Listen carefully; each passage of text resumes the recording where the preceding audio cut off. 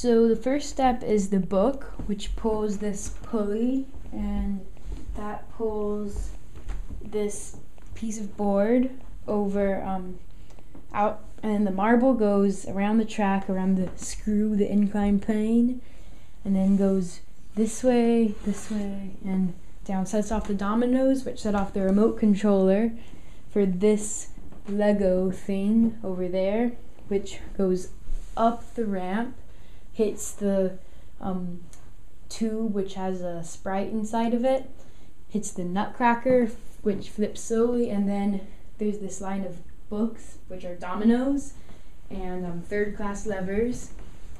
And then it hits this right here, which is a first class lever, which hits another first class lever. Wait, so this one goes down, this one tips up, and then the car slides down, hits this rod out from the moving pulley, and the um, pulley, the zip line, which is a little bucket filled with marbles, slides down, hits the soccer ball.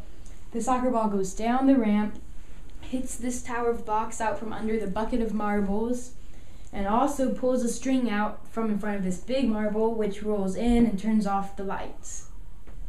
So this is the automatic machine for turning off the lights when you have finished reading.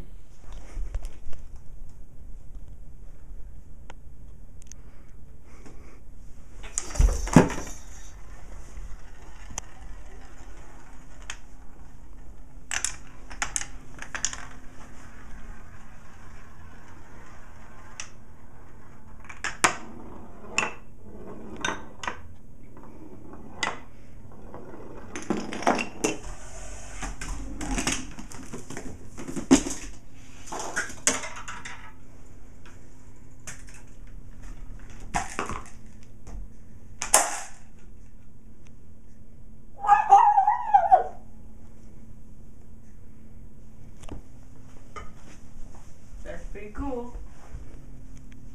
And now you can go to sleep.